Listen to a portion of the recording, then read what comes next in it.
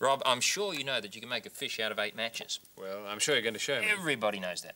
See, here's the body of the fish, and uh, as you'll notice, he is facing left. He's a left-facing fish. Right. There's his tail, the end of his body, and uh, fins top and bottom.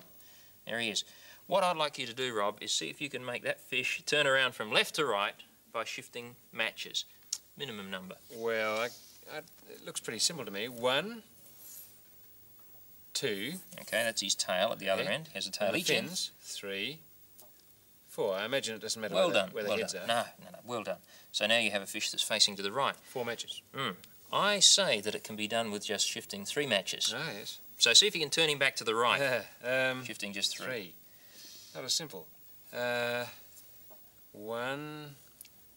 Tell you what, I'll give you a clue. no. You'll need to change the position of his body. Instead of being there, maybe here or there.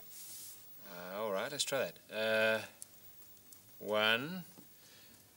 Uh, well, that's right. Yes. Ah, got uh-huh. it, got it.